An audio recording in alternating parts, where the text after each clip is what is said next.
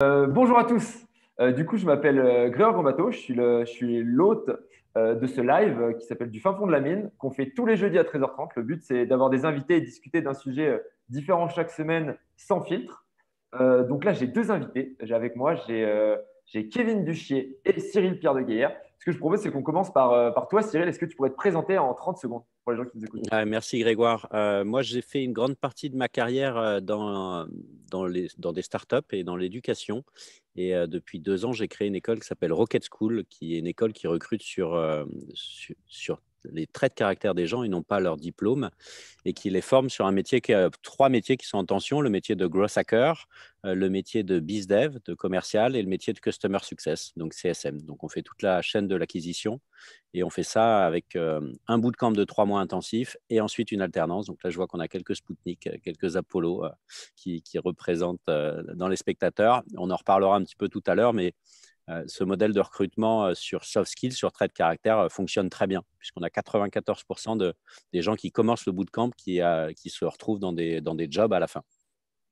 Ok, top. Et, vraiment, en plus, Cyril, on en parlera tout à l'heure, mais vous avez vraiment des profils atypiques, des gens en reconversion, etc. Et c'est ça qui m'a vraiment intéressé dans ton parcours. Et nous, pour donner un exemple, chez Germinal, on a recruté quelqu'un de chez vous. Donc voilà, on aura l'occasion d'en parler. Alors, pour vous expliquer comment ça va se dérouler, on, va, on va avoir quatre parties. On va avoir quatre parties. Donc, on va d'abord euh, expliquer comment rédiger des offres pour adapter à votre objectif, c'est-à-dire recruter des gens atypiques. Ensuite, on va voir comment est-ce qu'on peut avoir un bon process euh, pour pouvoir séparer rapidement euh, les gens qui ont de possède de ceux qui n'en ont pas. Et Cyril nous parlera notamment du fait qu'ils ont quasiment 2500 candidatures par batch. Donc, je vous laisse imaginer l'enjeu. en trois, on verra comment on peut pratiquer l'art difficile de l'honnêteté franche et positive pour pouvoir vraiment se faire recommander même quand vous refusez un candidat, dans quel cas il faut le faire, dans quel cas il ne faut pas le faire, et à quel point ça a une importance. Et je trouve que pour les profils atypiques, c'est encore plus important. Et enfin, on, parlera de marque employeur et comment faire sa priorité numéro un, et on parlera un petit peu d'influence, euh, d'influence RH. Mais avant, alors, deux choses. Je crois qu'on te dit que tu parles un peu vite, mais ça, c'est normal. Et, euh, et, je crois qu'après me, me, demander de me présenter, tu devais demander à Kevin de se présenter, non? Oui, oui, non, non. Exactement. Non, mais... Non, pas du tout. Du coup, en fait, ce que, alors euh, voilà, pour euh, bref, du coup, ce que je fais généralement, c'est que je présente euh, très rapidement le talk. Après, je demande à l'invité, je présente le, point, les, les, quatre points qu'on va voir, et ensuite, je demande à l'autre invité de se présenter. Et bref. Et donc, du coup, vas-y, Kevin, c'est à toi. Ok, bah salut. Euh, moi, j'ai rejoint euh, ma, première boîte il y, a, il cinq ans. J'étais un des premiers employés d'une boîte qui s'appelle Toucantoco, qui a, qui, a, maintenant euh, levé 12 millions d'euros. je suis passé de 4 à 80 employés dans cette boîte. on avait une vision hyper unique du, recrutement. C'est qu'en fait, le recrutement était marketing. Et moi, là-bas, je faisais du market, du growth, de l'ARP, etc. Et en fait, j'avais vraiment cette casquette marque employeur et recrutement. Euh, et euh, après euh, quelques années, j'ai décidé de concrétiser ça et, de passer de l'autre côté et vraiment me focaliser sur le développement de vision RH assez unique dans le monde des, startups. Et en fait, Grégoire m'a donné la chance de, le faire chez Germinal. Donc, donc voilà, aujourd'hui, je suis, je DRH chez Germinal et, et voilà, enchanté, je suis hyper heureux d'être là aujourd'hui en tout cas. Voilà, Kevin, c'est vraiment un profil hyper atypique. Juste pour vous donner un mot sur Germinal et sur moi, du coup, moi, je suis Grand Combato, je suis le CEO cofondateur de Germinal. On s'est lancé il y a deux ans. On est une trentaine, on bosse pour des PME, des scale-up, donc des boîtes qui ont entre 1 et 70 millions d'euros et à peu près un quart du CAC 40. Et on fait des missions commando euh, dans l'acquisition client. Et euh, juste pour une info que je vous donne, il y a beaucoup de gens euh, qui, suite à ces lives, font des récaps sur LinkedIn en expliquant voilà tous les points qui ont été donnés, ce qu'ils ont appris, ce qu'ils n'ont pas appris. Ça marche plutôt bien je vous conseille, euh, et même non, je vous ordonne de me taguer euh, sur ces posts parce que moi, après, je like, je commente et ça vous donne beaucoup plus de visibilité. Et on l'a fait la semaine dernière, ça a très bien marché. Donc, pour tous ceux qui font des récaps, taguez-moi, ça vous donnera de la visibilité et c'est plutôt cool. Je propose qu'on attaque avec la première question. Euh, du coup, Kevin, moi, je sais qu'il y a eu un avant et un après quand tu es arrivé chez Germinal. C'est-à-dire que on avait vraiment une logique chez Germinal, on avait des postes, mais il y avait certains types de candidats qu'on n'arrivait pas à avoir. Et toi, tu as regardé nos offres et tu as dit, les gars, euh, et d'ailleurs, à cette époque, on était très masculin, c'était un vrai problème. C'est-à-dire, on avait un problème sur des profils atypiques, on avait un problème, on n'avait pas assez de femmes, euh, qui sont deux problèmes assez distincts, mais qui sont quand même deux vrais problèmes. Euh, du coup, comment est-ce que tu as réglé ça? Qu'est-ce que tu as mis en place dans les offres pour arriver à aller chercher des profils atypiques, aller chercher des profils qui ne candidataient pas avant chez Germinal, tout simplement? Ouais, en fait, moi, ça a été la, grosse question. Je me demandais comment j'allais pouvoir craquer ce problème. Ma, première logique, en fait, ça a été vraiment de, bien construire les offres et, de travailler en fait sur, sur une étude que j'avais lue il y a quelques années et que je, peux vous, je peux vous passer le lien après. c'est en fait, il y a les, les, candidates féminines, en fait, elles ont tendance à candidater que quand elles ont 100% des prérequis, alors que les hommes, c'est 60%. Ce qui fait qu'en fait, euh, la, logique pour nous, c'était qu'en fait, euh, dès qu'on publiait euh, une offre, en fait, il y avait déjà trop de points, trop de, trop de prérequis, trop de demandes, etc. Et en fait, j'ai ajouté une toute petite phrase en fait à la fin. Donc déjà, j'ai enlevé beaucoup des prérequis et j'ai, ajouté une petite phrase juste à la fin qui disait en fait, si vous n'avez pas toutes les compétences, c'est ok, vous pourrez les développer chez nous. nous, on est structuré pour ça, etc. Je blague pas quand 80% euh, des, candidates me disent au téléphone, elles me le disent, quoi, elles le sous-entendent même pas, elles me disent, et puis en fait, oui, c'est hyper cool, vous vous demandez pas qu'on ait 100% des prérequis, et elles me citent toute la phrase mot pour mot. Et moi, j'ai été hyper impressionné par ça. Ça avait vraiment, ça, a eu un impact de dingue chez nous. Et en fait, depuis, en fait, on a commencé à féminiser la boîte. Je suis arrivé, on était, il y avait une, ou deux femmes dans, l'équipe, enfin le, et, et, depuis là, on, est six et les prochaines candidates qui vont arriver chez nous. Enfin voilà, on commence en fait rien que dans, le niveau des candidatures à avoir beaucoup plus de féminisation, etc. Quoi. Donc c'est assez impressionnant voilà, des, femmes et aussi deux types de profils qu'on n'avait pas avant, c'est-à-dire beaucoup de gens qui s'auto-limitent et vous avez des profils atypiques avec beaucoup de potentiel qui s'auto-limitent et vous avez aussi, de façon générale, attention, on va pas, de dans notre cas, c'est ce qu'on a constaté, je ne sais pas si c'est le cas de façon générale, mais des femmes qui s'auto-limitaient parce qu'elles avaient peur de ne pas avoir les compétences. Euh, il y a aussi euh, autre chose, je crois, que, dont tu m'avais parlé, c'est une petite question que tu as rajoutée dans les offres. Ouais, ça, euh, ça, ça, va plutôt dans, dans, dans, le process.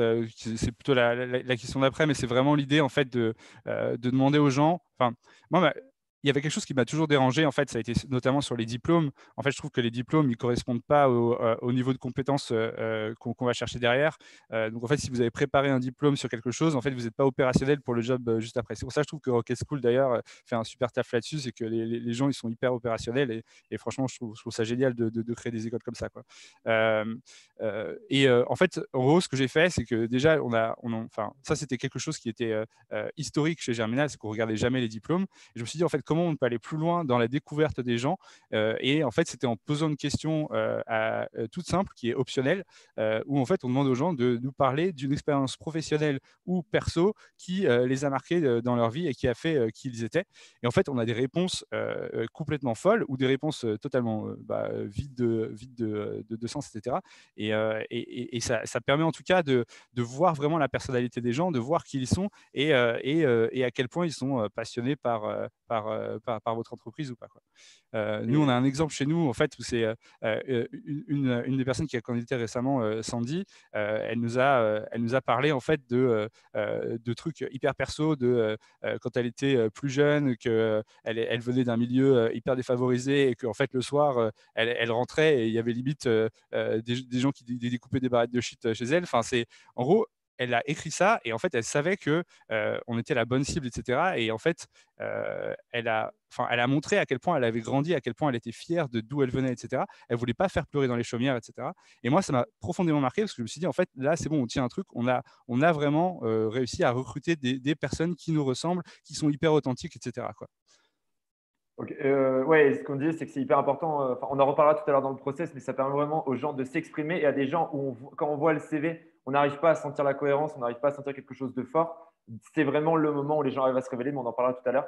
Très rapidement, euh, toi, je sais, Cyril, qu'à un moment, vous aviez un problème sur le poste de Growth Hacker. Il me semble que vous aviez évolué l'offre. Parce qu'en fait, dans vos promotions de Growth Hacker, vous aviez que certains types de profils. Et il me semble que vous aviez un petit peu changé la terminologie pour avoir d'autres types de candidatures. Alors effectivement, on a un petit peu le, growth hacker, c'est un métier qui est super intéressant, euh, qui est un petit peu un hybride entre le, entre le marketing et, le geek et l'informatique, et mais malheureusement qui n'est pas connu. Donc du coup, ce qu'on a fait sur le site web, c'est qu'on a mis digital marketing, ce qui fait qu'on a eu énormément de demandes entrantes, enfin beaucoup plus. Le marketing digital, ça attire beaucoup de monde, euh, et, euh, du coup, ensuite, on leur a présenté un petit peu le métier. Donc ça a permis de faire venir des flux.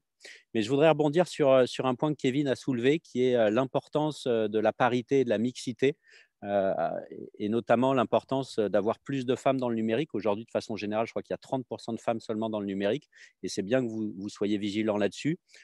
on a eu en fait, on s'est aperçu sur notre première promotion que sans faire attention, on avait à 80% d'hommes et 20% de femmes seulement, ou 75-25. Et en fait, du coup, on a fait un gros travail qui était initié par une fille de l'équipe, Emmanuel, pour essayer de comprendre. Et clairement, ce qui est ressorti, en tout cas notre expérience, c'était que les femmes avaient tendance à, à se sous-évaluer, en fait. Euh, tendance à dire ah oui il faut 10 choses moi j'en ai que j'en ai que 7 donc du coup je ne postule pas là où les hommes auraient plutôt tendance à se surévaluer. Et du coup on a pris ça en compte ainsi que d'autres éléments dont on pourra parler euh, si, si c'est le sujet. On a pris ça en compte pour nous permettre du coup d'avoir des promotions plus euh, plus mixtes. Et, et là aujourd'hui on est on est même à 55% de femmes et 45% d'hommes grâce à une une action très forte en ce sens j'ai envie de dire, malheureusement, dans le numérique, euh, à cause de plein, plein de process qui sont culturels, etc., on ne va pas revenir là-dessus, mais je pense que les, les, profils de femmes sont presque, sont presque atypiques, alors qu'en fait, elles ont euh, tout à fait les compétences et, d'ailleurs, elles cartonnent. Nous, les nanas qui sont chez nous, elles sont vraiment très, très balèzes et, dans, les, dans les cadres chez Terminal et dans les personnes les plus efficaces, on a des nanas et, oui, en effet, c'est grâce euh, à ce que vous, au fait de se rendre compte du problème, ensuite de trouver des solutions, qu'on a réussi à recruter ce type de, de profil qu'on n'avait pas avant.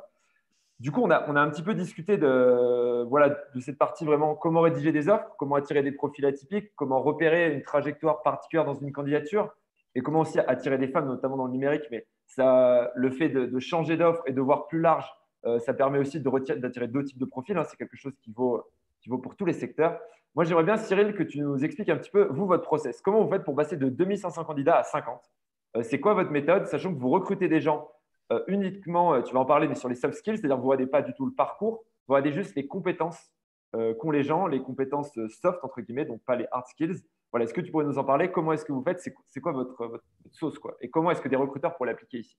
Oui, bien sûr. Alors, euh, on est une école, mais on n'est pas une école classique, on est une école qui fait de la reconversion. Donc, la grande majorité de, nos étudiants, la moyenne d'âge est de 28 ans, la grande majorité de nos étudiants ont déjà une vie professionnelle avant, euh, vie professionnelle dans laquelle ils ne sont pas forcément épanouis et ils sont en recherche de changement. Donc, on travaille beaucoup avec Pôle emploi, c'est une grosse partie de notre sourcing, et on a une autre action qui consiste à être très visible sur les réseaux sociaux pour générer de l'entrant, pour générer des candidatures. Donc, on parlera de marque employeur, je crois, tout à l'heure. sur chaque promotion, donc avant, on en faisait une tous les trois mois, donc sur chaque promotion avant, on avait en moyenne 2500 candidatures. C'est ce qui est énorme. C'est-à-dire que tous les trois mois, on avait 2500 personnes qui venaient sur le site web de Rocket School, qui mettaient leur nom, leur prénom, leur adresse email et qui disaient Je veux faire Rocket School. Le process qu'on applique, c'est euh, dès qu'ils s'inscrivent, ils reçoivent un premier mail avec deux relances. Un mail qui leur explique un petit peu ce qu'on va faire et qui vont leur dire on va faire un test de personnalité, voilà le lien, passe ce test et après on fait un point. Donc un mail plus deux relances. En fait, on s'est aperçu, on a essayé de pimper un petit peu les mails, d'optimiser, et on n'a qu'un tiers de personnes qui vont répondre. Donc globalement, sur les 2500, on va en avoir à peu près 900 personnes qui vont passer ce test sur Assess First. Donc, Assess First, c'est la solution qu'on utilise, parce que bien entendu, on ne pourrait pas euh, traiter manuellement 2500 candidatures et, euh, euh, même 900 personnes, on ne peut pas le traiter manuellement. Donc, le principe d'Assess c'est une solution qui va noter de 1 à 10 une trentaine de traits de caractère. Comme par exemple, ce qu'on va rechercher pour un BizDev. Un BizDev, il aime bien aller vers les autres. Il aime bien le challenge. Il est persévérant. Quand on lui dit non, il ne va pas dire ah bon, tant pis. Il dit ah bon, pourquoi Dites-moi en plus. Et donc, sur les 900 candidats, globalement, on en a 200 qui ont les traits de caractère qu'on va rechercher. Donc, ces 200-là, on va les traiter manuellement. C'est-à-dire qu'on automatise la première partie du flux, les 2500 puis les 900, et les, les 200, là, on va pouvoir les traiter manuellement. Donc, on va faire avec eux un entretien téléphonique et un entretien physique. Donc, l'entretien téléphonique nous permet de parler un petit peu du programme, de parler de ce qui se passe, vraiment d'avoir un premier contact avec les gens. Pour les profils de BizDev, on va vérifier qu'ils parlent bien au téléphone parce que c'est important derrière pour leur métier. Et sur les 200, euh, après le téléphone, on va en garder 80. Les 80, on va tous les inviter à une réunion d'information, on va les voir en physique et on va en sélectionner 50 qu'on placera en entreprise. Et ce qui est ultra intéressant, euh, c'est, notamment, c'est le premier filtre. C'est-à-dire qu'on peut, en étant un peu visible, on peut avoir beaucoup, un gros volume de candidatures. C'est extrêmement compliqué de traiter 2500 candidatures, voire impossible de les traiter manuellement. Donc d'avoir, de poser une question, de demander une action qui est quand même assez engageante. Hein, c'est un test, ça met une heure pour le faire, mais en même temps, si on se dit j'ai envie de changer de vie et qu'on n'est même pas capable de passer une heure pour s'y préparer, bah, ça ne sert à rien. Donc pour nous, c'est un énorme filtre et c'est super important parce que finalement, c'est des gens qui ne sont pas ultra motivés. Et pour notre recrutement, on cherche vraiment des gens qui ont envie de s'en sortir. Et donc avec les deux aspects derrière, donc l'utilisation d'une plateforme, d'un outil qui permet d'identifier euh, les traits de caractère des gens. Donc là, je vous avais parlé des bizdev, mais globalement, pour les growth hackers, on va chercher des gens qui sont curieux, euh, des gens qui ont un esprit analytique, qui aiment bien toucher à tout. Et, derrière, après ce test, on va avoir des tests un peu plus spécifiques. On fait appel à, des vrais, enfin à des, spécialistes euh, du sujet. Il y a Anthony qui parle du MBTI. Il y a plein de tests hein, de personnalité. Le MBTI aussi, c'est très bien. Il y a Processcom. Euh, l'idée, c'est d'être capable de l'industrialiser et de, le mettre en premier filtre euh, pour bien identifier les gens. Sur les 900 personnes qui le remplissent, il y en a les 200 avec qui on va continuer, mais il y en a 700 autres. Et ces 700-là, on ne les abandonne pas. L'idée, c'est qu'en passant le test, ça va leur permettre d'avoir des informations ultra intéressantes sur les métiers dans lesquels ils pourraient s'éclater. Parce que finalement, l'idée d'un recrutement, c'est quoi? C'est de mettre la bonne personne au bon endroit. Si on veut être heureux dans sa vie, globalement, il faut qu'on soit heureux au boulot et heureux dans sa vie perso. Et heureux au boulot, ça veut dire quoi? Ça veut dire être efficace dans son job et avoir une appétence pour le job. Je vous donne un exemple on est capable, grâce à des outils comme Assessors ou d'autres, d'identifier que quelqu'un est très organisé, donc serait potentiellement un très bon comptable. C'est un métier qui, peut être super pour, pour, certaines personnes, mais qui peut être pas du tout intéressant pour d'autres. Euh, et, donc, l'utilisation de ces outils-là va vous faire gagner un temps de dingue et va vous permettre, du coup, vous, quand vous recrutez, d'avoir des gens qui sont au bon endroit et qui fitent bien avec la team. Et euh, j'ai envie de compléter, d'ailleurs, pour répondre un petit peu aux questions, c'est aussi ça qui vous permet de ne pas sélectionner de donner leur chance à tout le monde. C'est-à-dire que quand on veut des profils atypiques, quand on veut des gens qui viennent d'autres profils, on est obligé de créer un élément de sélection, ce que tu dis. Et si on ne veut pas sélectionner sur les diplômes euh, ou sur les critères de sélection traditionnels et qu'on veut laisser leur chance à des gens qui n'ont pas eu de chance, à qui on n'a pas laissé leur chance par ailleurs, on est obligé d'avoir ce système-là. Vous avez choisi Assess First et le test par soft skills on peut en discuter, on peut dire mais est-ce que c'est vraiment pertinent, est-ce que vous n'avez pas toujours la même personnalité, etc. Mais en tout cas, vous laissez euh, leur chance à tout le monde et vous, votre objectif, c'est d'avoir des gens qui vont fitter le mieux possible avec leur métier. je pense que c'est une, excellente approche. Et d'ailleurs, là-dessus, je sais que Kevin, toi aussi sur ce côté, poser, euh, et t'en parlais tout à l'heure, donner une question supplémentaire, poser une question et demander un, effort supplémentaire au candidat. Quand on ne filtre pas par les diplômes, c'est aussi une façon de, réduire euh, le nombre de candidats et c'est aussi une façon de tester la motivation. Euh, sur cette question-là dont tu nous parlais, ça prend quoi? Ça prend 10 lignes? Est-ce qu'il y a des... Tout le monde y répond en fait? Est-ce qu'il y a des gens qui ne répondent pas?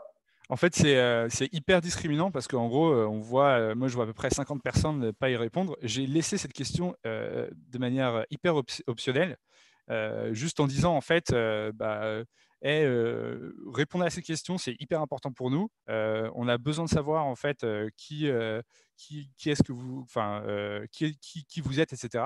Mais mais il y a en fait peu de gens qui, qui répondent et après il y a encore moins de gens qui répondent vraiment de manière, de manière élaborée, etc.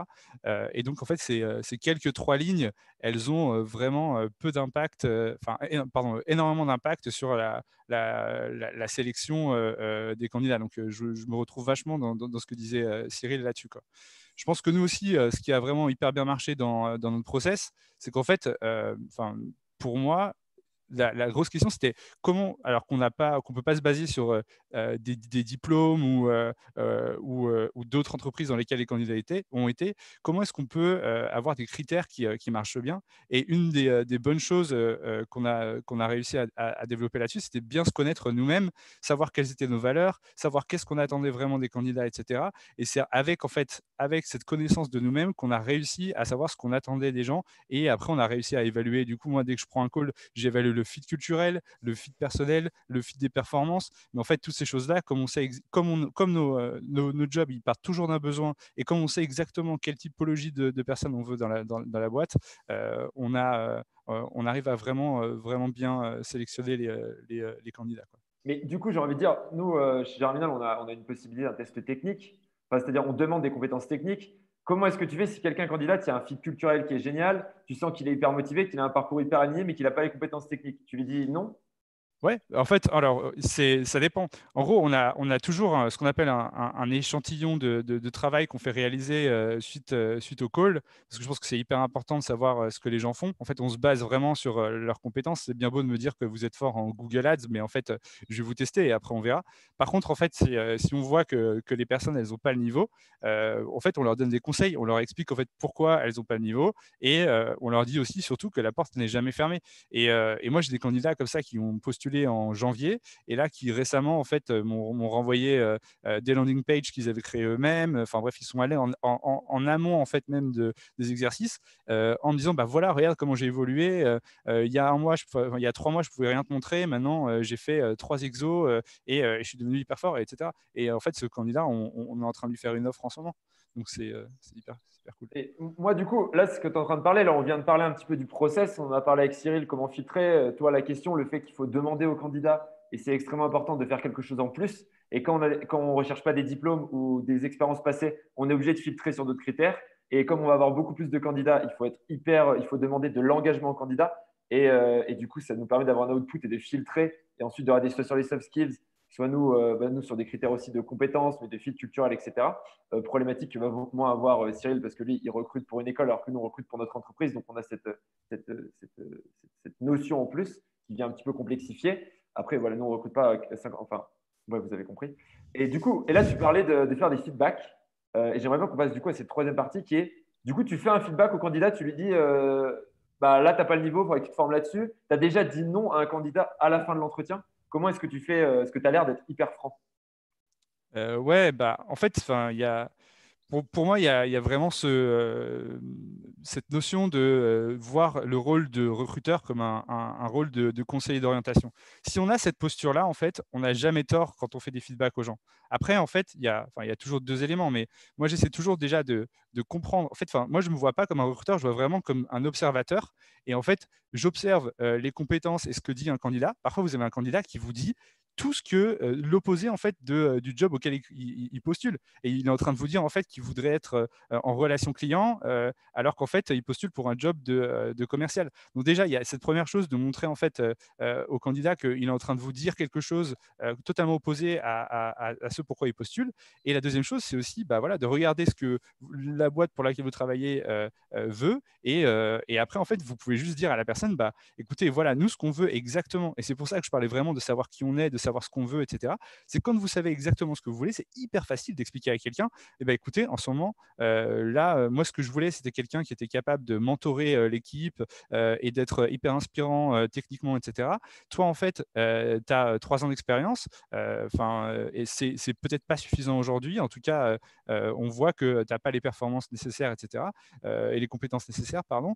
Et, et, donc, du coup, moi, ce que je te conseille, c'est d'aller dans une boîte où, en fait, il y a déjà des mentors en place, euh, dans lesquels tu vas pouvoir euh, monter en compétences, etc. Mais en fait, chez nous, on a déjà besoin de quelqu'un qui a cette posture-là, en fait. En fait, c'est ça le type de feedback que je donne. Et du coup, c'est pas juste euh, quelque chose en mode ah bah t'es mauvais là-dessus, t'es pas bon. Je dis juste il n'y a pas de match en fait. C'est et le recrutement, c'est ça, c'est juste une affaire de matching. Est-ce que en fait c'est la bonne personne pour le bon moment ou, pas? Et en fait, ça c'est pas grave et ça nous permet de faire des, des, feedbacks qui sont qui sont neutres en fait, qui sont qui mettent pas les gens dans, dans tous leurs états. Après, il y a des personnes, bien sûr, qui, qui, prennent mal le rejet et, qui, et, avec lesquelles, en fait, on ne peut pas faire de, feedback direct. Il faut attendre quelques jours, etc. Et je pense que c'est important et c'est un des skills du recruteur de commencer à, sentir ces choses-là, de savoir quand est-ce qu'on peut faire le feedback et quand est-ce qu'on ne peut pas le faire. Euh, mais, euh, mais voilà, l'idée, c'est toujours faire le feedback, en tout cas, à la fin. Et, euh, ça, j'y mets un point d'honneur à répondre à 100% des, des, candidats qui postulent chez nous. D'ailleurs, D'accord, c'est assez bienveillant de, de pouvoir faire ça. Ouais. Ouais, d'ailleurs, et juste pour ceux qui posent des questions, posez-les dans questions-réponses et à la fin, on répondra à toutes les questions. Donc, posez pas que dans le chat, posez dans le, channel questions et réponses QR. Ça nous permet de pouvoir les trier. Vous pouvez... Toi, Cyril, là-dessus, tu disais, est-ce que tu as eu des problématiques justement sur des feedbacks que tu as fait à des personnes peut-être qui sont intégrées dans l'école et qui finalement n'ont pas été au niveau, etc. Comment est-ce que tu gères ce non-fit euh, potentiel que tu peux avoir dans l'école, etc. Est-ce que des fois, tu as des mauvaises réactions? Euh, parce que là, on dit, voilà, il faut tout de suite répondre aux gens, il faut leur dire ce qui va, ce qui ne va pas, même avant le recrutement. Donc, après le recrutement, bien sûr, c'est essentiel pour faire évoluer la personne, mais même avant, ça permet bah, même à des profils d'être recommandés, etc. Qu'est-ce que tu en penses alors, juste avant, je voudrais revenir. Il y a eu une ou deux questions de, Laetitia, notamment sur, euh, sur les profils que tu recrutes par, euh, sur, des, sur des traits de caractère, de personnalité. qui, Laetitia demandait s'ils ne se ressemblaient pas tous un petit peu. Et c'est assez vrai, et c'est d'ailleurs assez rigolo, parce qu'on a une promo qu'on appelle Apollo, qui sont des futurs dev et on va chercher des gens qui aiment bien aller vers les autres. Donc, on va un peu chercher la personne qui, en soirée, sera à l'aise pour aller parler à tout le monde. Sur les growth, on cherche des gens beaucoup plus introvertis qui vont être capables, dès qu'ils ont une problématique, de réfléchir, de se poser, d'aller chercher des infos. Et c'est vraiment très drôle parce que du coup, effectivement, quand on les met en groupe, euh, c'est très différent. Les, les, growth hackers, on leur pose une question, ils vont tout de suite être capables d'aller chercher des informations et de trouver la solution tout seul. Les devs seront moins à l'aise là-dessus. Et, en parallèle, quand il va falloir s'exprimer, les devs sont beaucoup plus à l'aise et les gosses un peu moins. Donc, c'est assez intéressant. Je vois qu'il y a Claudia, qui, qui, est une ancienne Spoutnik, qui, qui nous fait un smiley là-dessus. Mais effectivement, c'est super intéressant de voir ça. Et les CSM qui font du support client, on, on va chercher des gros nounours empathiques. Donc, globalement, on se retrouve avec, euh, quand on les met ensemble, c'est effectivement assez caricatural. Maintenant, je voulais euh, juste avertir sur un point, euh, ces outils comme Assess First n'ont aucune, enfin, ne vont pas remplacer euh, un RH ou le travail d'un recruteur. C'est vraiment juste un outil qui va vous permettre d'être beaucoup plus efficace. Donc ça, c'est ultra important. Et c'est aussi ultra important pour gérer le fit entre les équipes dont, Kevin parlait, qui est, qui est, très important parce qu'il y a les soft skills, il y a les hard skills, mais il y a aussi la capacité à bien s'entendre avec l'équipe. Et ça, c'est ultra important. Et pour répondre à ta question maintenant, euh, effectivement, on a des gens qui ne fitent pas. L'objectif final, euh, enfin, un des principaux objectifs de Rocket School derrière l'école, c'est de créer un algorithme anti-chômage et de faire en automatisé euh, des recommandations. Je te donne un exemple. On a quelqu'un qui va postuler pour le job de BizDev. Il veut faire business developer. Et on va s'apercevoir qu'il n'a pas la personnalité. Mais par contre, comme c'est un gros nounours sympathique, il serait super bon ou elle serait super bonne en CSM, donc Customer Success, tout ce qui est fidélisation, support client ou alors qu'elle est super organisée, très smart et qu'elle pourrait être super bien en growth hacking. Donc, on a ce, travail qu'on fait pour l'instant en partie manuellement, mais qu'on a vocation à, industrialiser, qui va permettre de rediriger automatiquement les gens vers des jobs où ils pourraient s'éclater. Et donc, ça, c'est le retour qu'on aimerait faire encore mieux euh, et, qui reprend un petit peu ce que Kevin disait. Je pense que c'est important quand on est recruteur d'avoir cette approche bienveillante euh, quand quelqu'un a une problématique qu'on a vu, qui a passé du temps avec nous, qu'on aurait bien aimé onboarder, bah, si on ne l'onboarde pas et qu'on peut quand même le nourrir en lui donnant des infos, je trouve que c'est vraiment extra. En tout cas, c'est une vocation qu'on a. Et je pense que d'ailleurs, pour les profils atypiques, c'est hyper important parce que du fois, ils ne savent pas comment se positionner, ils ne savent pas à quoi ils sont bons. Leur faire un feedback, leur dire vous pouvez vous, diriger vers ce type de métier, ce que tu fais Cyril ou Kevin, vers si tu te formes là-dessus, là-dessus, là-dessus, tu pourras être bon. Je pense que ça aide aussi les profils atypiques à, trouver leur voie et finalement, ça les aide à vous, ça permet, euh, ça nous permet, nous, en tant qu'employeur ou en tant qu'école, euh, d'être encore plus recommandés, d'avoir encore plus de profits comme ça et de nourrir encore plus de gens. Je pense que c'est vraiment un cercle qui est hyper positif. D'ailleurs, là-dessus, j'ai envie de dire, après avoir un peu discuté de, l'honnêteté et de ces feedbacks, comment est-ce qu'on peut aider euh, Tout ce qui est marque employeur, c'est extrêmement important, qu'on soit une école ou nous en tant qu'employeur, pour attirer ces profits qui sinon ne viendraient pas à nous, parce qu'ils ne vont pas forcément chercher le bon job, etc. Et il faut arriver à faire comprendre qu'on cherche des profils qui sont différenciants. Il faut arriver à leur faire passer la porte de chez nous pour leur euh, permettre de se rendre compte qu'ils pourraient candidater. Toi, comment est-ce que tu travailles euh, ta marque employeur Comment est-ce que tu fais pour que ton école elle soit connue? Comment est-ce que tu fais pour que tous ces profils atypiques ils entendent parler de toi? Alors, nous, on a une spécificité, c'est que tous les gens qu'on prend, qu'on confirme, les 50, on leur, euh, on leur assure qu'ils trouveront une alternance. Donc, du coup, on doit à la fois trouver des talents, mais également trouver des entreprises. Et du coup, on a une, euh, très forte activité sur LinkedIn pour mettre en avant l'école. Euh, pas pour de l'auto-congratulation, puisqu'à la limite, on s'en fiche, mais pour que les gens se disent Ah, bah oui, tiens, j'ai besoin de recruter euh, quelqu'un pour faire plus de business euh, en alternance, faisons appel à Rocket School. Donc, c'est un flux positif. Euh, donc, la marque employeur, on la travaille vraiment beaucoup sur ce côté-là. Et sur le côté recrutement de talent, on travaille beaucoup avec Pôle emploi. On fait beaucoup d'informations collectives où on parle de tous les métiers du numérique on va parler de tous les métiers. On va dire, vous voulez faire développeur, pour aller chez 42, chez Simplon. On parle de toutes les écoles gratuites comme Rocket School. Et, euh, à un moment, on fait un focus sur nos métiers, sur l'acquisition. Et on fait euh, beaucoup de, en fait, on fait beaucoup de retours d'expérience sur des gens qui ont fait la formation. Et, euh, on a plein de profils atypiques. quelque chose qui me fait beaucoup sourire, par exemple, on a une ancienne prof de philo qui est devenue growth hacker. Et ça, je trouve ça génial parce qu'elle passe d'un mode philo plutôt brainstorming, réflexion, à, ultra capitaliste. Le growth hacker, c'est quand même de la génération de leads quelque part. Donc, il y a un peu un, switch complet et, elle a l'air de vraiment bien réussir dans son job. On a un autre profil qui était champion de France de boxe thaïlandaise, qui aujourd'hui est business developer. Donc, on utilise beaucoup des retours d'anciens pour euh, que les gens, par exemple, moi je suis en banlieue, euh, je vois que le champion de France de boxe thaï a fait, euh, a fait cette école, qu'on lui a donné sa chance, je me dis bah, pourquoi pas moi? Donc, on essaye beaucoup d'utiliser les rôles modèles. Et ça, on le fait aussi pour revenir aux, aux, femmes dans le numérique. on fait beaucoup appel à des femmes qui sont dans la formation pour qu'elles parlent de leur métier, pour que, ça, que les autres se disent bah oui, pourquoi pas moi? Bah, écoute, c'est top. Et je sais que toi, Kevin, là-dessus, alors nous, on a moins ce côté rôle modèle, etc. Mais tu sais aussi que c'est hyper important de se faire connaître. Et, euh, Cyril va vraiment utiliser les rôles modèles et la communication sur LinkedIn et via Pôle emploi sur la formation généralisée pour se faire connaître et faire connaître ses valeurs et lui permettre à énormément de, profils un peu différents de candidater. Toi, Kevin, qu'est-ce que tu utilises? Est-ce que tu utilises Welcome to the Jungle? Est-ce que tu communiques sur LinkedIn? Est-ce que tu vas à des salons? Euh, Tu as des chasseurs de tête? Comment est-ce que, tu, comment est-ce que tu fais? Ouais, bah, moi je pense déjà que j'ai beaucoup de chance, c'est qu'en fait l'équipe, la, renommée, on va dire, et, euh, de, de, Germinal et, le marketing de Germinal font que en fait, on a déjà une marque employeur qui, euh, qui, est, réalisée par le, le, marketing. Je trouve que c'est hyper important en fait d'avoir en tout cas cette, cet alignement. Et je pense que quand euh, vous avez une belle, une belle marque, en fait, elle, elle a un impact sur votre marque employeur. moi, après, à côté de ça, les, ce qu'on lance en fait justement, c'est déjà, on a une, culture qui est et une marque employeur qui est hyper marquée, hyper unique. Donc, tout ce qu'on dit, en fait, c'est assez authentique, c'est assez cru. Et en fait, on a fait ça justement au passage de, Welcome to the Jungle. On a mis des, vidéos qui, ressemblent à aucune autre. toutes nos offres, quand elles sont écrites, elles ressemblent à aucune autre. et je m'exprime sur LinkedIn tout, toutes les semaines où je donne des conseils aux candidats et des choses comme ça. Et en fait, j'étais vraiment personne sur LinkedIn il y a cinq mois. Aujourd'hui, je fais 700 likes sur des conseils que justement je donne aux candidats, etc. Et en fait, ça nous donne une, une notoriété de, incroyable. Et ce qui fait qu'en fait, j'ai genre là depuis deux semaines cinq candidats qui, qui, me contactent par jour juste sur LinkedIn et plein d'autres qui, qui, postulent sur Welcome to the Jungle. Et la force d'avoir une marque employeur qui est, qui est, vraiment forte et unique, c'est que vous, vous, êtes déjà en train de sélectionner des gens parce qu'en fait, il y a des gens que votre culture qui, qui est affirmée, vont enfin, cette culture, elle va les rebuter en fait vont même pas venir chez vous parce qu'en fait, ils vont se dire ah ok, il n'y a pas de match, c'est sûr. Ah ça me dégoûte de travailler avec ces gens-là. Genre euh, moi je veux, je veux pas euh, avoir autant de, de je sais pas, genre de transparence, etc. Euh, dans mon métier. Moi je, enfin bref, c'était un peu un, mauvais exemple la transparence. Mais par exemple, on est très pas une boîte parfaite. Il y a des gens qui voilà, qui aiment pas le feedback franc qu'on se fait entre nous, etc.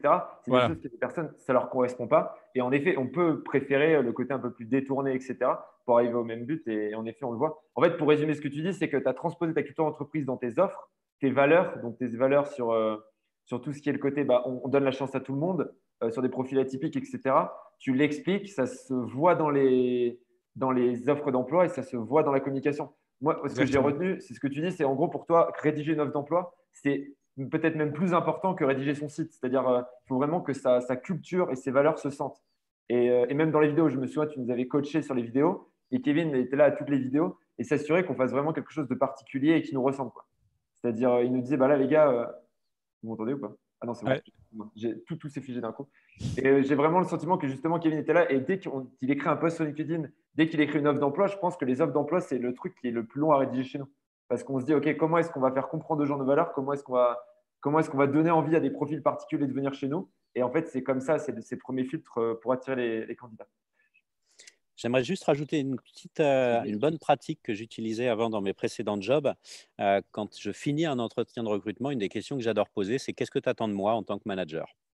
Et en fait, de demander, en fait, de retourner la question, puisque finalement, on a été beaucoup dans le questionnement d'un candidat, et de finir en disant, et moi, qu'est-ce que tu attendrais de moi pour que je sois ton manager idéal? Et je trouve que c'est ultra intéressant et souvent ça déstabilise un petit peu les candidats, mais ça permet d'avoir plein d'infos parce que si on a quelqu'un qui nous dit j'ai besoin que tu sois là tous les jours, que tu m'aides euh, au quotidien ou qu'un autre qui dit moi j'ai besoin qu'on me laisse beaucoup d'autonomie, ça va également permettre de, faire matcher encore mieux, je trouve. Je suis tout à fait d'accord avec toi et je pense que cette question de qu'est-ce que vous attendez de l'entreprise, nous, on essaie toujours de trouver dans l'entreprise, euh, et c'est Kevin qui m'a beaucoup appris ça, de qu'est-ce que la personne vient chercher chez nous? Pourquoi elle vient. Et plus vous êtes fort dans votre communication en termes d'offres d'emploi, de culture, etc., plus vous vous assurez que bah, les gens, quand vous leur demandez pourquoi ils viennent, bah, ils viennent pour, la bonne raison. On va passer aux, réponses. Euh, c'est-à-dire, donc là, après, on va prendre 10 minutes pour répondre à toutes vos questions questions et réponses. Juste avant, je vous remets les, je vous remets les liens. Donc, je vous, je vous, je vous encourage euh, et même, je vous demande, abonnez-vous abonnez-vous à notre chaîne. Par exemple, on a, on a fait une très belle vidéo sur l'influence sur LinkedIn. On parle des algorithmes, etc., comment avoir plus de reach sur LinkedIn. Si parmi vous, il y a des RH, c'est hyper intéressant et on fait beaucoup de contenu. Vous pouvez vous abonner. Vous pouvez, moi, me suivre sur Twitter. Je suis actif tous les jours. Tous les jours, j'essaie de poster euh, des choses sur l'entrepreneuriat, les startups, etc. C'est hyper intéressant. Vous pouvez suivre Cyril sur LinkedIn. C'est hyper intéressant. Il fait des posts. Vous pouvez voir ce qu'il fait pour Rocket School, comment il communique, comment ça lui permet d'avoir des candidats. La même chose pour Kevin. Je vous ai mis les liens. C'est hyper important. Vous pouvez nous suivre. Vous aurez plein d'infos. Et je vous rappelle, vous recevrez tous par email le, le replay et toutes les news euh, pour les prochains, les prochains épisodes. Donc, vous allez tout recevoir. Maintenant, euh, je propose qu'on passe aux questions. Et voilà, je vous encourage à prendre deux minutes pour aller, euh, pour, euh, aller tous les suivre. Vous aurez vraiment beaucoup d'infos et ça vous permettra de, continuer et de suivre un petit peu ce qui se passe. Alors, n'hésitez pas à poser des questions et à noter pour les questions qui sont, qui sont les plus intéressantes. On va vraiment sélectionner ces questions. J'ai une première question. Quid du management des générations X, Y, Z? Est-ce que vous, vous avez un intérêt? Est-ce que vous pensez qu'en effet, vous, vous faites des choses différentes en fonction de ces générations? Est-ce que c'est quelque chose qui rentre dans votre filtre aujourd'hui ou pas du tout? Est-ce qu'il y en a un de vous deux qui va répondre à cette question euh, Peut-être je vais prendre rapidement le, point. Nous, on, a eu, euh, on, a, par défaut, la moyenne d'âge, c'est 28 ans, mais la, fourchette est assez large et on a des gens qui sont hors conversion, qui ont, 50 ans.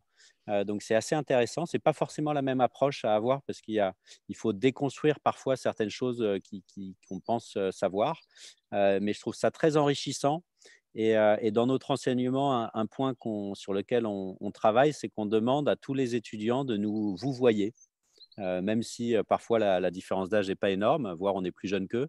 Mais, tout simplement parce qu'on s'est rendu compte que globalement, les gens qui ont plus de 40 ans sont habitués à ce qu'on se vous voit quand on ne se connaît pas ou qu'on se vous voit en entreprise. Et que dans beaucoup de startups, à l'inverse, maintenant, c'est 20, 30 ans, on a tendance à se tutoyer par défaut. Mais aujourd'hui, du coup, quand on a 25, 30 ans, on n'est pas forcément habitué à vous voyer les gens. Donc, on a mis ça en place pendant notre bootcamp, pendant les trois mois, pour, pour qu'en fait, les gens soient très à l'aise dans les deux cas.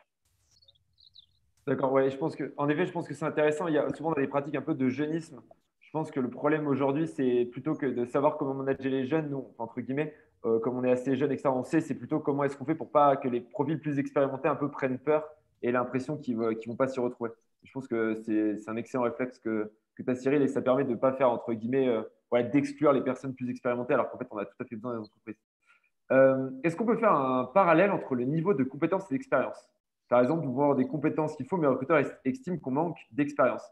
Est-ce que toi, tu vois une différence, Kevin, entre les compétences et l'expérience? Est-ce que, par exemple, tu penses que quelqu'un qui a des, compétences, mais par exemple, n'aurait pas assez d'expérience, est-ce que ça t'est déjà arrivé de dire, vous avez toutes les compétences pour le taf, mais je considère que vous n'avez pas assez d'expérience. Est-ce que c'est un vrai débat? Est-ce que tu as quelque chose à dire là-dessus ou pas particulièrement? Bah, Pas particulièrement.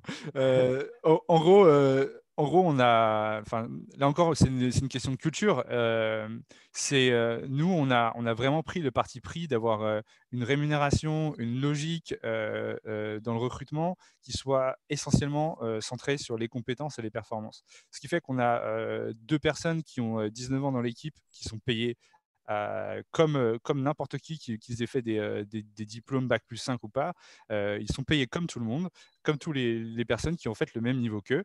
ils ont déjà été, il y en a un qui a déjà été augmenté aujourd'hui, et, et, et, en fait, on ne fait pas du tout de distinction, et c'est ça qui, qui prédétermine vraiment enfin, la, la, logique qu'on a, nous, en interne. Il y, y, a zéro distinction. Ouais, et juste pour information, donc nous, quelqu'un qui aujourd'hui a fait une école d'ingé qui est growth, quelqu'un qui a les mêmes compétences mais qui a 18 ans, donc qui a entre guillemets peut-être moins d'expérience, mais les deux seront payés en salaire d'entrée 36K pour notre d'idée. Donc on a quelques 2000, euh, dans les années 2000 qui sont chez nous à, à, 30, à 36K. Euh, alors, je reprends. Une personne avec un parcours traditionnel est-elle désavantagée lorsqu'elle postule chez Germinal? C'est-à-dire quelqu'un qui a fait une grande école, qui a bossé dans des grands cabinets de conseil, par exemple, et qui arrive chez nous pour pour faire la relation client, est-ce qu'il est désavantagé? Non, bah, ça, va être encore une fois un peu la, même réponse. En fait, aujourd'hui, en fait, elle est désavantagée si, euh, si elle n'a rien fait euh, dans, son temps libre, si elle n'a pas développé les compétences euh, qu'il faut. Ce, qui, ce que j'ai beaucoup remarqué quand même chez les profils d'école de commerce, et, de moins en moins, parce qu'il y, a vraiment une, maturité maintenant, enfin, une, prise de conscience dans les écoles de commerce. Mais avant, vraiment, il y, avait, il y avait vraiment une absence totale. Une fois qu'on était en école de commerce, on arrêtait un peu d'aller faire des, des, projets à côté, etc. pour nous, en fait, euh, rentrer dans l'école de commerce, c'était, bah voilà, on, a atteint ce qu'il fallait atteindre. En fait, on n'a plus besoin de rien faire. Maintenant, l'école, elle s'occupe de notre formation. Sauf qu'en fait, quand vous ne faites pas euh, de, choses euh, opérationnelles, etc., sur le côté, que vous n'avez pas écrit de blog, que vous n'avez pas monté, enfin appris à coder, etc., bah ça, ça peut vous impacter quand vous allez essayer d'être recruté par des startups qui, elles, généralement, quand même, vous demandent de savoir faire des choses déjà, déjà en avance et en amont. Donc, c'est en ce sens-là qu'elle pourrait ne, pas, enfin, qu'il pourrait y avoir un peu de la discrimination entre guillemets, mais euh, mais sinon, en fait, si elles ont les compétences, euh, nous, on, va, on va les traiter comme n'importe qui. D'ailleurs, pour un exemple, on a une euh, Mathilde chez nous qui a fait l'ENS, donc elle a fait l'ESCP et l'ENS, et elle n'a pas été discriminée pour le coup, mais en effet, on l'a regardé dans son parcours, ce qui était logique, etc. Et on lui a demandé est-ce qu'elle était vraiment motivée, est-ce qu'elle avait un fit culturel. Mais en effet, elle a pu candidater en ayant fait des très grandes études et un parcours dans des très belles startups et compagnie. Mais elle est au même salaire que quelqu'un d'autre qui aurait les mêmes compétences. Donc, du coup, ce qui peut être aussi un petit peu frustrant, euh, et du coup, c'est aussi une validation de fit culturel. Parce que si parce que vous avez fait une école, vous considérez que vous devez être mieux payé, c'est qu'il y a un problème de fit culturel.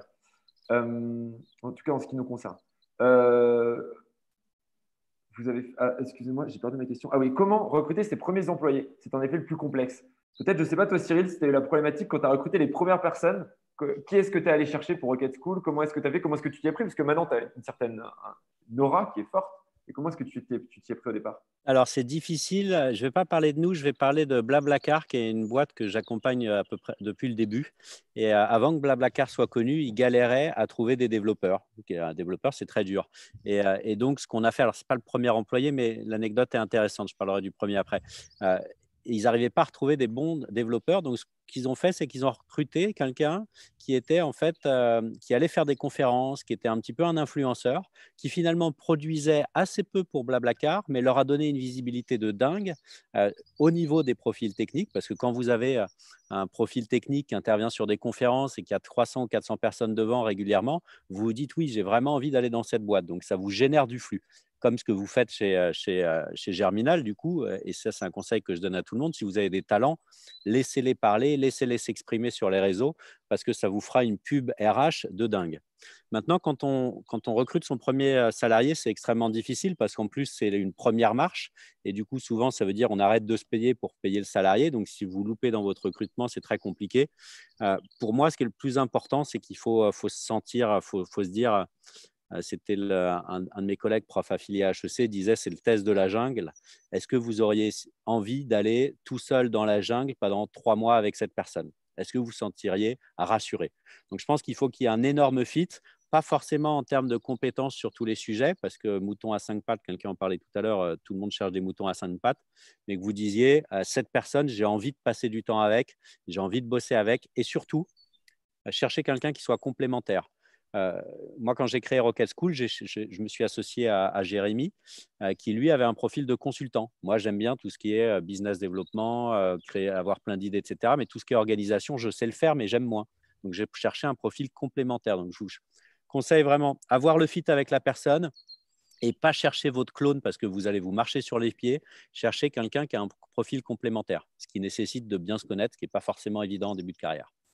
Euh, on me demande, euh, vous avez fait des écoles dites d'élite, euh, comment avez-vous fait ce switch dans votre esprit? Alors moi, en ce qui concerne mon école d'élite, j'ai fait la fac de droit de Grenoble. Donc en termes d'élite, on n'est pas au maximum. je ne sais pas, Kevin. Ouais, moi je suis une grande élite, grande élite BTS, BTS commerce international et après l'école de commerce qui est même pas dans le top 15, je crois. Donc ouais, vraiment très très. toi Cyril, un petit peu plus peut-être? Non, moi, j'avais fait EPITA, qui est une belle école euh, d'informatique, euh, mais euh, qui à l'époque était un petit peu comme ce qu'est 42 aujourd'hui, donc c'était le bordel, mais j'aimais bien, avec cette philosophie d'apprendre à apprendre, d'apprendre à se débrouiller tout seul. C'est un petit peu ce qu'on. Parfois, on, compare Rocket School à 42, on dit c'est 42 du business. Et, et, derrière, je suis effectivement, maintenant, je suis professeur affilié à HEC. et effectivement, il y a un switch de je n'aimais pas l'école. D'ailleurs, ça fait beaucoup sourire mes amis parce que je n'aimais pas du tout l'école. J'ai fait sept collèges et lycées pour, vous, euh, pour tout vous dire. à quel point j'adorais ça. et je me suis retrouvé vice-major à Epita et puis aujourd'hui à avoir créé plusieurs boîtes qui marchent plutôt pas trop mal.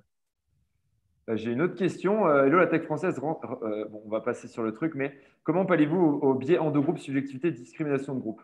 Euh, il y en a qui dit sur la photo de Germinal, il n'y a que des mecs. Alors il faut savoir que la photo de Germinal, à un moment, on était 15, 15 mecs.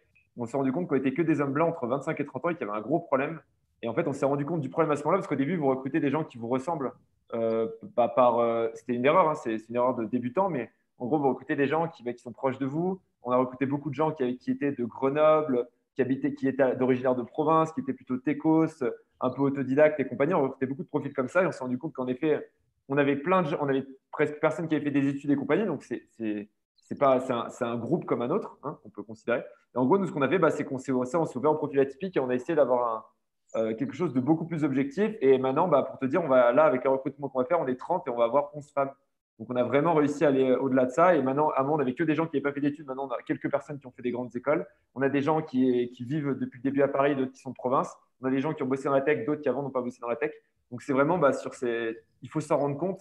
Et une fois qu'on se rend compte, on va essayer de faire des efforts. Mais oui, en effet, il y, a, un risque de centrisme. Mais j'ai envie de dire, en fait, ce que tu as vu sur la, photo de Germinal, c'est juste bah, que des mecs qui ont, qui ont bossé à côté de leurs études, qui se sont débrouillés, qui se sont tous mis ensemble. Et en fait, ce pas des mâles blancs de 25, entre 25 et 30 ans qui ont fait des études, mais par, euh, par habitude, on a tendance à, se mettre avec des gens qui nous ressemblent au début. Et ça, c'est une erreur de, erreur de débutant, j'ai envie de dire. Et pour, euh, pour compléter, le, fait de recruter sur soft skills, à la limite, on s'en fiche complètement de que vous soyez un homme, une femme, euh, noir, blanc, jaune, vieux, jeune ou quoi que ce soit. C'est pour le coup quelque chose qui est super pratique. Et pour la petite anecdote, on, joue le jeu avec nos entreprises partenaires qui recrutent des gens chez nous. Ils nous demandent souvent est-ce que vous pouvez m'envoyer le CV Et on leur dit non, désolé, on ne travaille pas avec les CV, on travaille qu'avec les traits de caractère. Donc on leur envoie votre analyse euh, basique, celle qu'on peut transmettre de caractère. Ensuite, souvent, ils demandent au candidat le, CV, mais, euh, mais ce qui est assez sympa, c'est qu'on pousse ça vraiment jusqu'au bout. Euh, bah écoute, j'ai encore une question. Est-ce que c'est pas problématique d'avoir des profils uniques en termes de personnalité? On en a parlé tout à l'heure, mais est-ce qu'en effet, d'avoir que des extravertis, par exemple, dans une équipe sales, est-ce que, est-ce que tu penses que ça peut poser un problème alors, quand ils sont chez nous, effectivement, on les a par groupe. Maintenant, quand ils arrivent dans leurs entreprises, ils se retrouvent dans des équipes multidisciplinaires avec des gens qui viennent d'un petit peu partout. Et aujourd'hui, les, profils conformes, ils vont bosser avec des growth hackers, euh, ils vont bosser avec des CSM, ils vont bosser avec des account exécutives. Donc, du coup, ils vont se retrouver, ils vont se retrouver mélangés. Mais oui, quand on les a chez nous, effectivement, c'est pas une caricature, je dirais pas jusque-là, mais, euh, mais on sent des différences entre les groupes. Hein. Très bien. Est-ce que, attends, pardon. Euh, est-ce que c'est tenable sans qu'on commence à grossir Qu'est-ce que tu en penses? Est-ce qu'on peut continuer à avoir cette approche, euh, Kevin, sur le feedback, sur la culture? Est-ce que tu penses que quand tu es 100, tu peux continuer à avoir cette, même approche? Et si oui, comment? Et sinon, pourquoi? Alors, je suis un idéaliste, donc je vais dire oui, parce que je n'ai pas l'expérience encore, mais que je l'ai vu jusqu'à 80 personnes déjà dans, ma boîte précédente, et je trouve que c'était, enfin, chez Tukantoko, ils avaient la même approche de, de, centrer sur les compétences plutôt que les, les CV moi, je, enfin, pour, pour moi, en fait, il y a, y a juste une question de, de tellement marteler qui on est et, et de tellement bien processer son. enfin, en fait, vous n'avez pas besoin de répondre de manière ultra personnalisé à chaque mot, à chaque candidat. En fait, vous pouvez très bien générer des templates qui aident. Moi, j'ai des templates de, de, mails qui, qui euh, avec plein de liens dedans, qui aident les gens en fait euh, euh, à, mieux trouver leur voie ou à, trouver les entreprises qui leur correspondent, etc. Je pense juste en fait que vous avez moins de personnalisation, mais si vous avez bien personnalisé vos, approches, vous pouvez quand même donner des feedbacks à, vos, à vos candidats. Et après, en fait, pour moi, c'est aussi un investissement de malade. En fait, ce qu'on ne se rend pas compte, mais on paye, euh, on paye, on investit beaucoup d'argent sur la marque employeur, on investit beaucoup d'argent sur des événements, etc. Et après, on se retrouve face à des candidats. Et si on, en fait, s'ils ont une mauvaise expérience, on peut mettre tout l'argent dans, une poubelle. Enfin, ça sert plus à rien. Et donc, en fait, moi, je vois vraiment le, euh, ce temps et cet investissement comme étant en fait une, un, un, investissement dans chaque candidat qui va après colporter en fait la, euh, son, euh, sa bonne expérience de candidat. Et on voit beaucoup euh, de gens qui, qui réfèrent d'autres personnes alors qu'en fait, on les a refusés pendant leurs entretiens. Donc, c'est une manière vraiment de, bah, de, de, faire x2 sur votre investissement en, en, en, proposant cette, cette bonne expérience.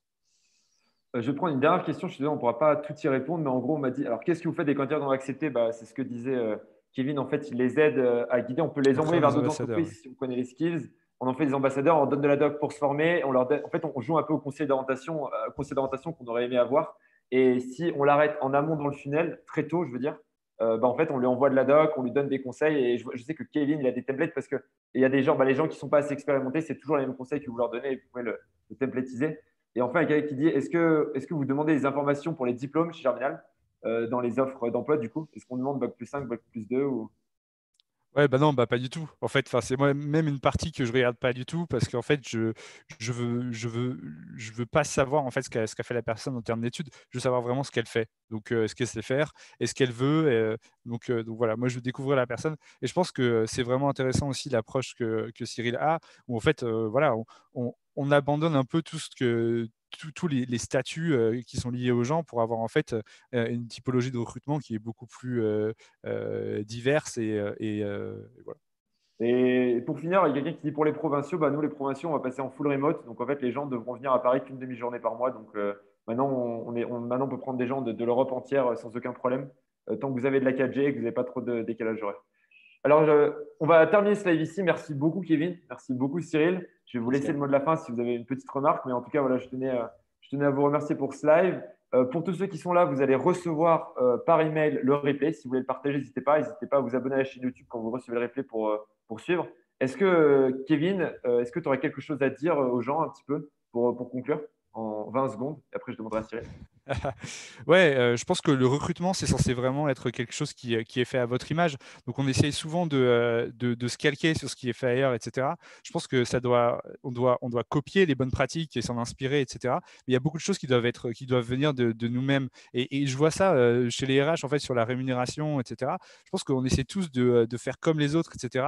Et en fait, du coup, bah, toutes les offres, elles se ressemblent, tous les processus de recrutement se ressemblent. créer quelque chose qui, qui est à votre image, en fait, ça va vous aider à, vraiment mieux sélectionner euh, les candidats euh, euh, et, avoir des candidats en fait qui correspondent à vos valeurs, à vos critères. Génial. Et Cyril? Ouais, j'aimerais bien partager un, retour que j'avais lu et que j'avais mis en pratique. C'était sur Mark Zuckerberg, donc de, Facebook, qui expliquait qu'en fait, pour recruter ses top managers, il passait, il partait pendant une demi-heure marcher dans la forêt ou une heure et qu'en fait, ils, échangeaient sur tout et rien.